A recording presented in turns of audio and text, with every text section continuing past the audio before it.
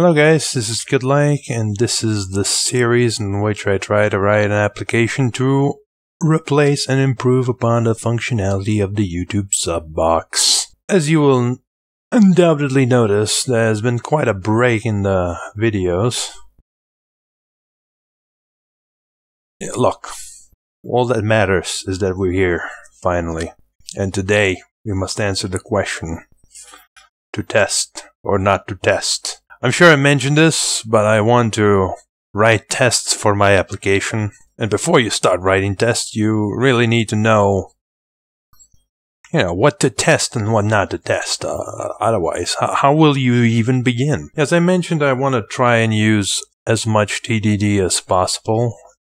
Test-driven development, for those that don't like acronyms like myself. But I'm no expert, and I don't promise to do it 100% of the time. Still, since the main idea behind TDD is to write tests first, it's probably really important to understand what's what kind of test you're supposed to write and stuff like that.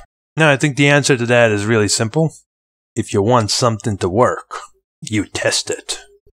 If you don't care that it doesn't work, then you don't have to. A more interesting question is how much to test or how to test something, but if you're sure that this is a functionality you want working, you will test it somehow. And then obviously you want as much of the testing automated, so you don't have to do it by hand. Now the issue that you could come up with here is that we are currently going to be writing something akin to this, our spike, in which we are essentially trying to create some kind of an API where we can see search results. For now, this will involve code that is similar to what you can see here. I suppose you could imagine something like the following interface.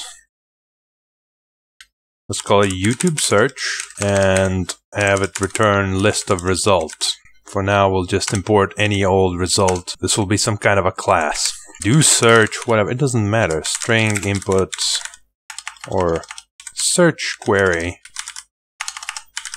And then uh, into max results, we can do that. And under this search, we'll probably have somewhere this YouTube class, and we will be performing something like this inside the method. So how do you test this? Normally, if you would have an implementation of this class, and we can imagine how a generic implementation would go. Once again, let's let's do it. Let's not let's not care about naming or anything like that right now. All of that will be fixed later. So let's say we would have YouTube in this class, and we would inject that YouTube into the implementation. Then the method would return perform something like this. We would have the search query be here. We would have the max results be here.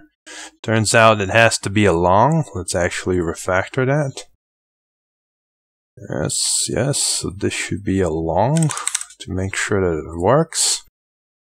And it throws an IO exception. We probably will just catch it and do something with it.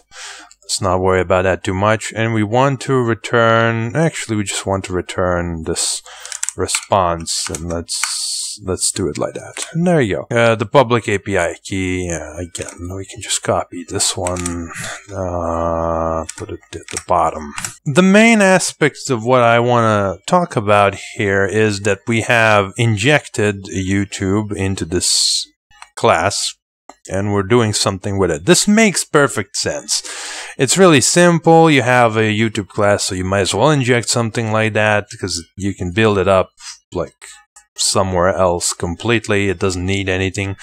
And then you do some kind of work with it. Problem is, okay, how do you test this? Hmm, right? And the answer to that is usually that there are multiple ways to do it. As I've written here, I have had some experience testing uh, database, more specifically Hibernate code, which uses something similar. You would, in Hibernate, you would have something, uh, we probably don't have Hibernate imported here, so it would be like a session factory that you inject into the class, and then you do something with session factory in the current session. This is the, uh, I believe, the JPA or Java Persistent Annotations way of doing things that they are currently moving to, if my understanding is correct, because everything else has been deprecated. So they, they, they want people to use that API. Yeah, and I have written code like that at work and I've tested it. And my solution to that was to mock out the API completely. So I would just use Mockito to create really complicated mocking mechanism for the session factory. It's really hard to, to show without the actual session factory. So let's just import it for a bit. All right, 10 hours later, we can now import the class. So what do you usually do with this class? You do session factory, get current session, and then do stuff like build, no, no, query, I think. Yeah, you create a query for a some kind of class. Let's just use YouTube search class. It doesn't matter because we don't have any. Uh, maybe not create query, but create. Yeah, it is actually create query, but not by class. It's it's far more complicated. You actually need the session, I believe, object. Do you get criteria builder? There we go. There we now you create a query for YouTube search class and then it's like it's this API is fucking horseshit as far as I'm concerned. because it needs so many random objects just popping out of anywhere. Oh, criteria builder, let's take that out of the session for some reason. Right? Where is it? It's entity manager method. Why? Why? A much more reasonable approach would be to have like just a general way to build those criterias, I guess. But that's what they used to have. They used to have detached criterias. But they moved away from them for some reason. Now this is the preferred method. I don't understand it. Obviously, I'm not looking into this stuff because I really don't care for Hibernate or JPA one way or the other. But uh, that's what we use at work. So what I did is I, I created a kind of a class. I call it a mock session factory, which is a really poor name for it because it's not actually a session factory at all, but it can hook into any session factory and any mock session factory anyway, one that's created with Mockito and just mock out all the interactions between all the methods. Well, at least the ones I use. I didn't do it for the entirety of the API, just for things that I needed. So you can add where clauses, you can add order clauses, you can add um, what you select specifically from the query. Uh, you can do stored procedures. I've been working on that. But that's not the only way you could do it. There's a few more ways that you could have uh, tested a database API. One way to do that is to have an in-memory database that is launched for the tests, populated with some data, and then taken down after the tests are done.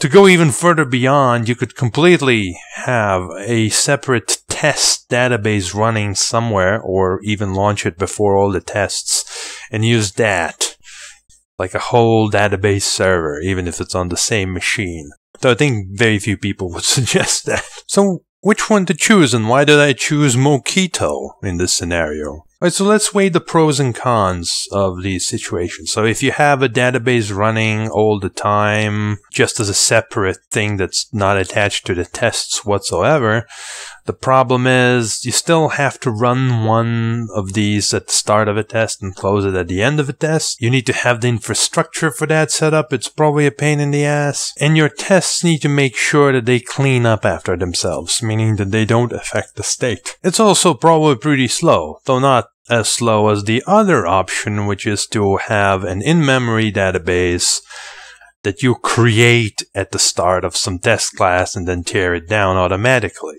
Now, the pro of that option is you don't have to worry at all about cleaning up because you will always create and destroy the database before and after the test. So it won't bother you much. You you you only need to make sure in a, a much smaller scale, maybe as low as a single test, not even a test class. But obviously, recreating your database is just a lot of work, even if it's in memory, so that will be really slow. So the third option is of course the fastest, you just mock everything. And usually the argument against mocking is that you, when you're mocking, you're not really testing anything that's under the mock. So you're not really testing that your queries would reach the database.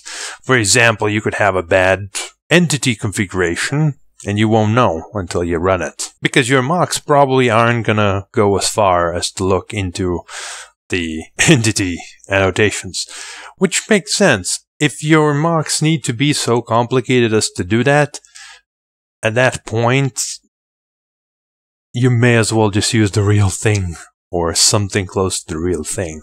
Still, I chose mocks in this case because Hibernate still does have this session factory, which is relatively mockable as far as it can be considered to be mockable. There's patterns to its API.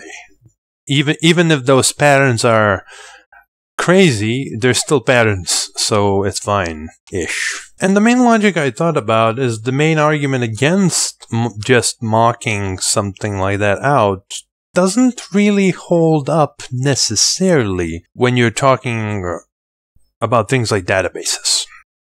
So, what I mean about that is that even if you set up a database, in some sense that is still a mock database. It's very unlikely that your tests will recreate the exact everything as it is in your real database. It will have all the triggers and everything ready. The reason that is because more than likely that your test database doesn't depend on changes on your real database. Whatever changes you apply to the database, you create new views or whatever, blah, blah, blah. It still translates into a kind of a mock. You're just mocking something much further into the database code. There's also no guarantee that, for example, the memory implementation of the database that you use is 100% compatible with the database you use in production. There could be differences which for which tests will pass, but production will just fail or be inadequate in some other way. These are possibilities. I don't have any practical experience with regards to that, but it's possible. The only way to circumvent that is to simply put, as I said, use the very first or last option, which is to have a database constructed at the very beginning of your tests and then write all you, then make sure that all the changes in that database are the same as in your production and, and then write all your tests in a way that they clean up after themselves. But even that can be highly unpredictable. Basically, database is a huge beast, so it's really hard to say that uh, you're actually cleaning up after yourself. You could probably do something with a transaction mechanism to maybe work around that, but sounds like it would be a huge pain in the ass. But it is an option, I suppose, that you could try even though probably not recommended. But if you don't go for that option, then you're really just asking the question, what do I mock? Whenever you're not using the exact same things you would use in the production, even though they may not necessarily be the same in the sense of uh, literally connecting to a production database, but I mean in the category of the same things. Whenever you don't use the same database, the same kind of database with the same kind of tables and stuff that you would have in production, you're still putting a mock somewhere. Either you're creating mock tables or entire mock database, or you're mocking the database API. It's not a question of whether you mock or not, it's the question of what are you mocking and at what point. And when your question is like that, then really you just have to look at all the possibilities again and compare the pros and cons again. And the important things here to look at, I think, are how simple it is to implement and understand the implementation of the tests. And what are the risks of not going through certain code for your application. The reason I marked out the session factory instead of opting for the other solutions was specifically because the way I saw it, this would be the simplest implementation, the easiest to understand implementation, and one with very few risks. The only thing that's not tested by that kind of a implementation is whether my entities are mapped to the correct fields. As far as I'm concerned, the risk of there being an issue with that is very small. And if an issue like that ever arises, I could probably write unit tests for that specific aspect as well, which would still be easier and simpler than uh, setting up a whole in-memory database and then making sure that I fill it with the appropriate tables and everything like that. Aside from that specific aspect, all that you would be really testing additionally instead of using the mock is that the hibernate works, which is a bit of a waste now, isn't it? because it's hibernate. So having all of that in mind, let's do a little bit of cleanup here so we don't have the unnecessary things uh, getting in the way. What should we do for YouTube API? Should we mock the YouTube API just like I mocked Hibernate? It is probably possible to do that. Probably but it will also probably be a huge pain in the butt. Here's one huge immediate limitation. Final classes. Mocking final classes is possible, but it requires a lot of additional resources that are difficult to set up and they will make the tests a lot more complex. Another thing about YouTube API is that it has a lot of uh, non-recurring, I would assume, methods. For example, well, in this case, yeah, what, what is this? Uh, where is this method that we just looked at? What class is this? Let's try to find a class. Yeah, it's just some kind of a list which extends a YouTube request there's there's some patterns to the API, I suppose. It's not that crazy. So you could probably uh, mock out, let's say, the list, probably within possibility to mock out the list. It's not final. And uh, technically speaking, you could probably just return a real search list response. Because it probably has all the setters that you need, yeah. So maybe that is actually within possibility.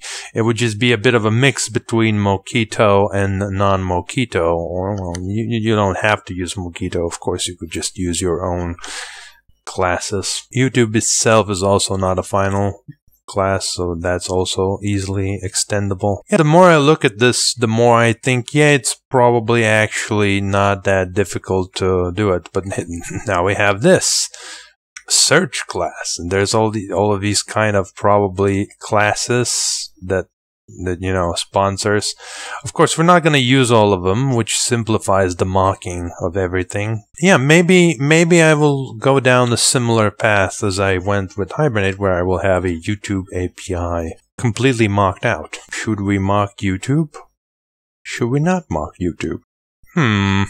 Hmm because at the end of the day, if you're not going to use the actual YouTube API in your tests, and we don't actually have the resources to create a similar API, then you're going to have to mock something. Either you will create a server which reads uh, localhost with the same API paths and inputs and then tries to translate it to something, or you will mock perhaps the uh, what you can see the the HTTP layer by mocking this, which I assume is used for all HTTP requests in YouTube API. Or you could just write a mock class for YouTube. And once again, perhaps even more so in this case, because we are not dependent on random annotations, that would probably achieve the same exact result in terms of testing something, but would be faster to write,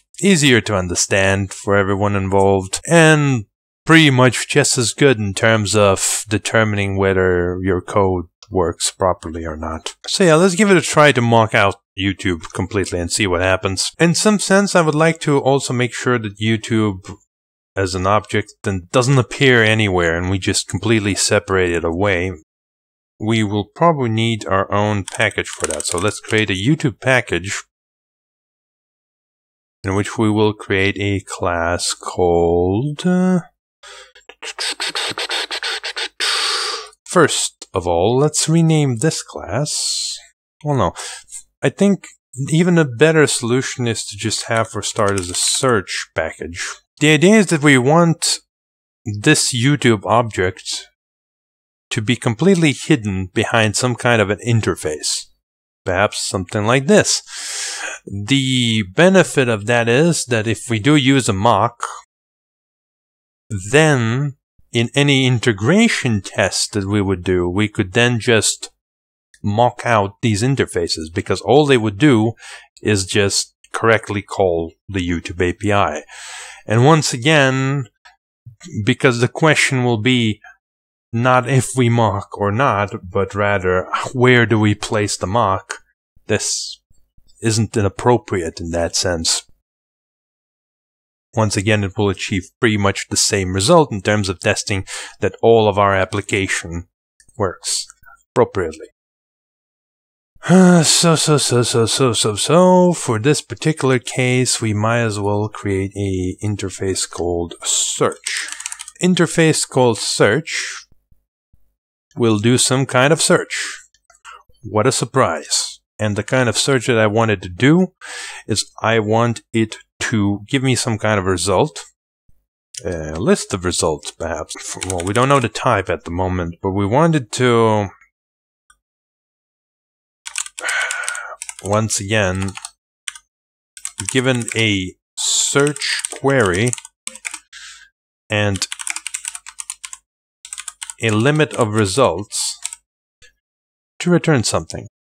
Now we might as well create that object from the start because uh, we kind of more or less know what we want. We, we don't know exactly, but we'll open the Google API and we'll look into it. Uh, or rather than rather than Google API, we'll open our uh, storyboard. Let's just call it simply search result. This will be a class which will be more or less a container for uh, data. So let's go ahead and go to our backlog, which we the sprint is still going, boys. It's current. We probably need to edit it to for it to work properly, but yeah.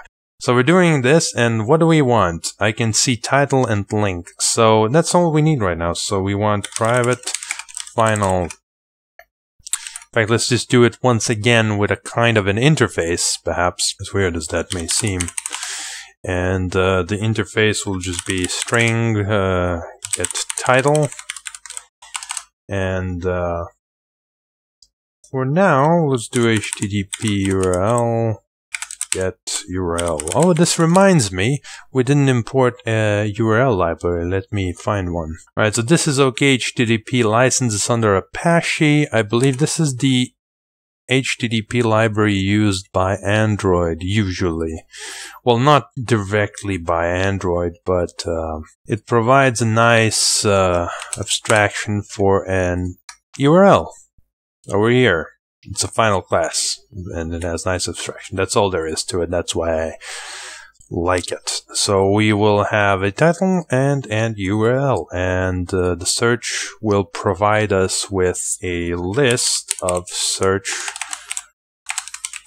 results. The title is clear, but uh, the URL, it's not clear what kind of URL that would be now, is it? It specifically won't be ever clear because the search results don't actually specify, right? We we just know that there's a title in the URL, but we don't know what we're searching or what we're looking for. That's quite interesting, actually. We can um, not really manipulate that from this interface. One way to do it is obviously to add more parameters. Another way to do it is just to have a different implementation and then select the correct implementation, perhaps using some kind of factory. We'll see. For now, since we only need one type of search, it doesn't make any sense to do it any other way. And doesn't make sense to specify here either. Right, and this will be the YouTube package. Let's just have it completely separate, maybe, actually. So that we know everything in this package can be mocked out without problems. And we can have here the actual YouTube, let's call it channel search, which implements the search. We'll return a list of search results. These classes now are obsolete. So get the hell, get them out of here, and uh, we can get started on some testing, isn't it? Right. What the hell happened? For some reason, this test class is not even public. Something broke, let me see. Alright, I changed my uh, test 5 class implementation to this. And uh, let's try that again, shall we? Create new test. There we go, much better. And now we can run all tests and bam. Both, both of them fail. This is a disaster. Okay, we can delete the main test. We don't need that anymore because we have a different test. And there we go. All according to plan-ish. What do we test first? First and foremost, uh, we want our classes to be pretty safe to use. I don't want no shenanigans here, like someone inputting minus one in the max results and expecting minus one results. No, no, no. So for these cases, I want the search query to be, do I want it to be non-blank? Actually, we can check that. So let's say we do a completely blank query. It doesn't work. What about if it's a space? It also doesn't work. What about if it's a tabulation character? It also doesn't work. So it's pretty fair to assume that blank queries should not be allowed by the application. So let's start of this. No blank queries. And uh, the test for that is going to be, we're going to need a search, search, which will be a new YouTube channel search. And if we do, and we're going to do an assertion, assert that exception of type, let's say illegal argument. I like illegal argument in legal state most. In this case, since it's an argument, that's the problem, I'll use legal argument, and it's thrown by search, do search of, let's say, null, and uh, let's say 1. It doesn't matter what this second input is as long as it is valid so that it doesn't impact the functionality. This test will surely fail because we have done no such thing as you can see here.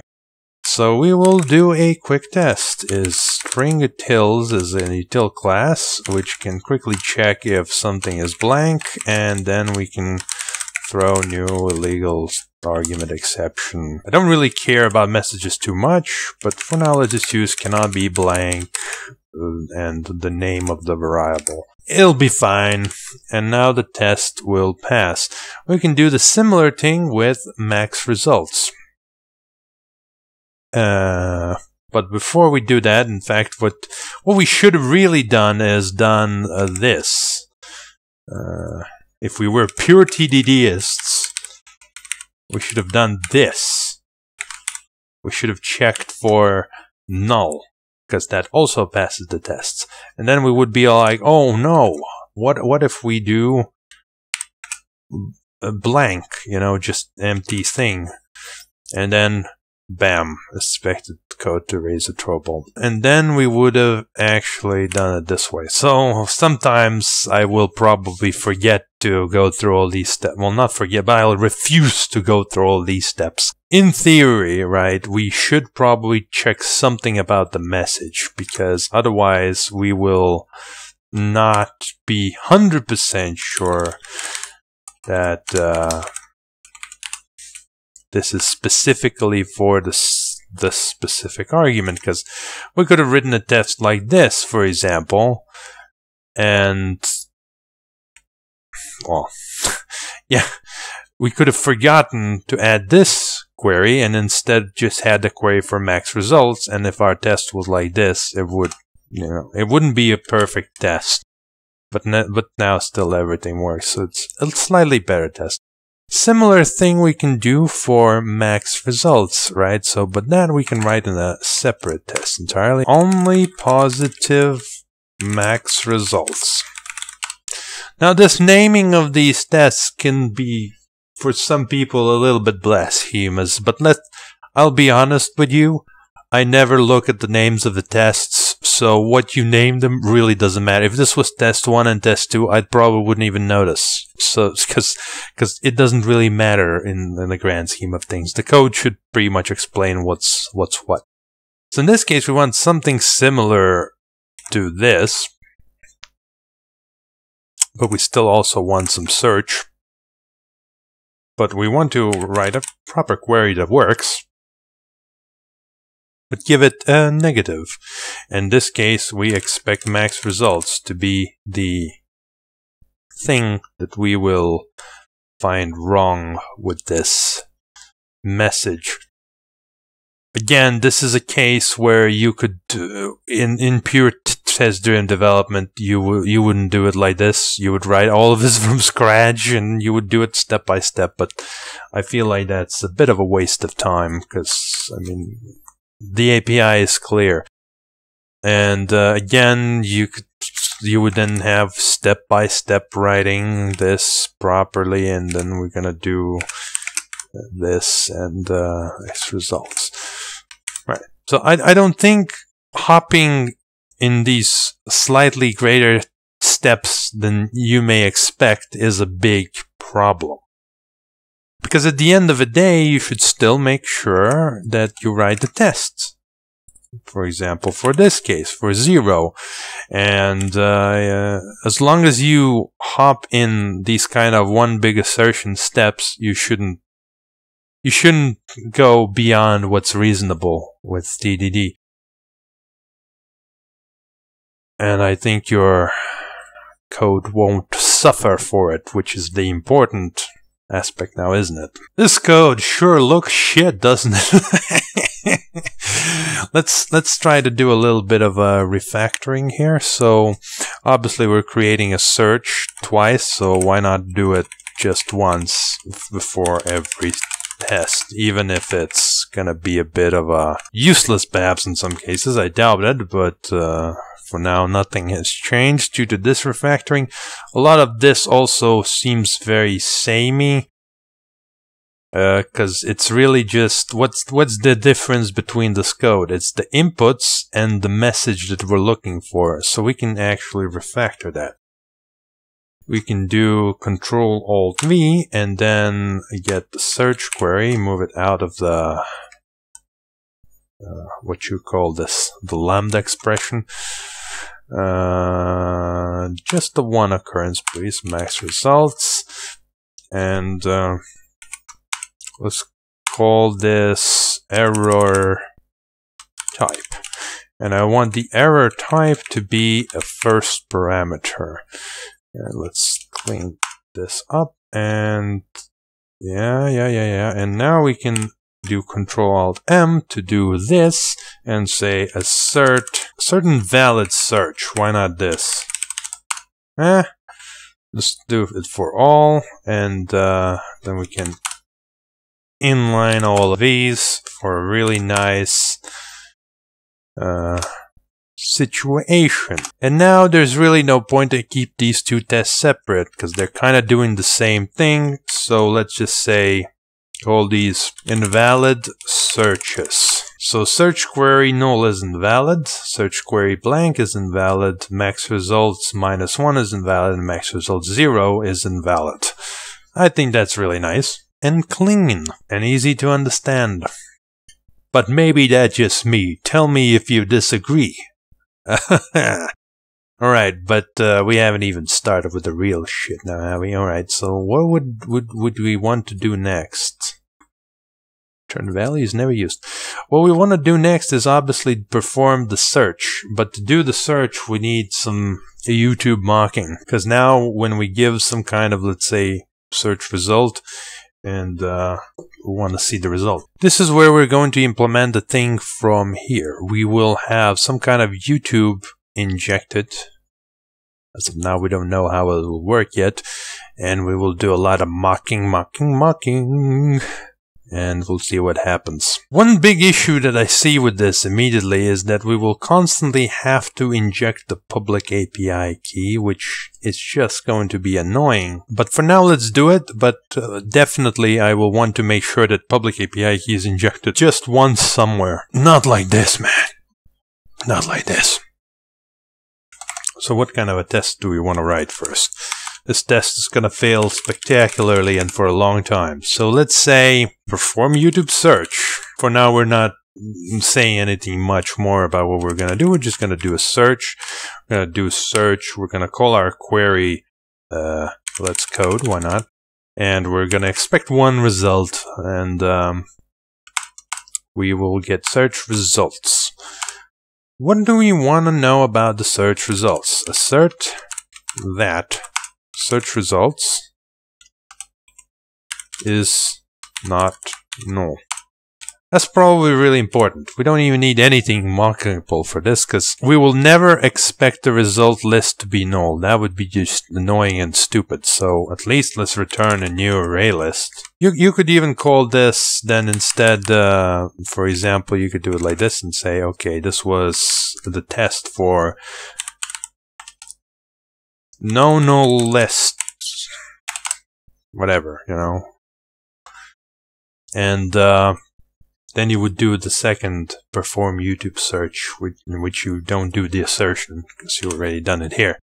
But I mean our API already supports it better so I think there's no need once again for this kind of small stepping as long as you do it uh, at least as you're writing the test, you'll be fine. So we probably expect to contain exactly some kind of a search result. What would that search result be? We don't have an object for that, so let's create an object for that YouTube channel. Again, purists would say, oh, you need to write something like this, YouTube channel or rather you would say channel not even channel search result result would be equal to new YouTube channel. And then you know now that YouTube channel doesn't exist you can create YouTube channel. This is this is just playing around. Don't take people who actually suggest to do this seriously. They're just being silly. Uh, you know just make sure that you never really step out of line but that doesn't mean you have to go 100% straight, you know what I'm saying? YouTube channel is going to be a simple container, as far as I'm concerned. It will be a container of uh, two things. It will contain the channel name and uh, channel ID. You can initialize these. Uh, oh yeah, that's right. I keep forgetting because at work I use one type of Java style and here I want to use my original. Well, original is the one that I like to use, Java style. Right, so we want our YouTube channel to have a name and ID because because we know I mean, I could go here and look at what the YouTube Data API would offer me, but uh, obviously we need those two things. Uh, reference and we are doing a search we're doing a list and uh, we can even try this out here first and then write the test. Where is it? Oh it's because the scripts. God damn it. Probably need this thing to work. Okay. There we go there we go, there we go. So again, we'll do something like let's code and we do like one and we execute with else and then we get a bunch of responses and then what we want to do Uh, oh, we also wanted the right type channel. So that, that worked anyway, but yeah, kind is YouTube channel. And then we want uh, the channel ID and the title of the channel. Maybe at some point we'll also want the description, but right now that's all we need. Funnily enough, there's only one such channel. No such other channels exist. Makes sense. Names are pretty unique, but if, you know, if you remove like one of the words, you could suddenly get a lot more. Oh, it's, oh, never mind. I'm, I'm dumb, but it's because I have one max result already. Ignore what I just said, right? Yeah, there's actually half a million Let's Go channels. What, what great competition we're facing here. Still, this won't be quite trivial either as an object. You may think, oh, well, this is such a simple object. You don't need to write anything for it, like any tests. Yes, you do. Especially if it's simple and it's really quick to write the test and, uh, why wouldn't you write the test? So what's going on now here? All right, so so let's comment that out, and then, as luck would have it, that this test passes because this test is, you know, looked up. But at the end of the day, we do want to ignore it, I think, because if we ignore it, then uh, I think we'll see that it's ignored here. No. I think ignore is the wrong uh, thing to use. Disabled. Makes sense. Just weird.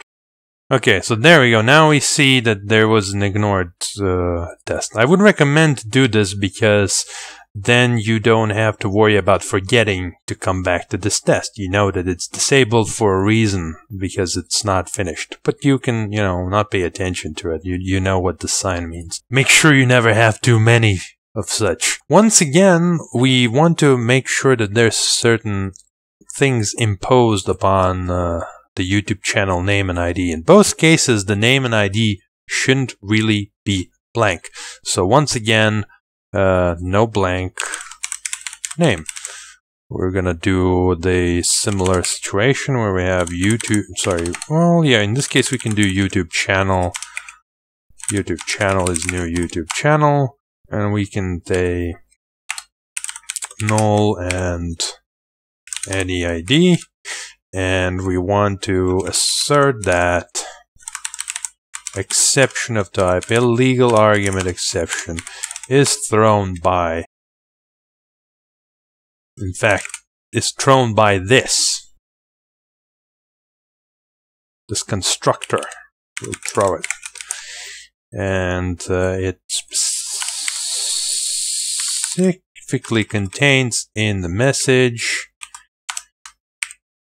channel name. This test will fail horribly. It it uh, it doesn't even compile. Fail horribly. Oh, excellent. And with that, we have reached our 30 minute limit, which I started only after my rant, which is why you may be confused why it took so long. So next time, which will be soon, hopefully, uh, we will uh, proceed onwards with this and uh, try to implement our YouTube channel. Thank you guys for watching, and I'll see you later.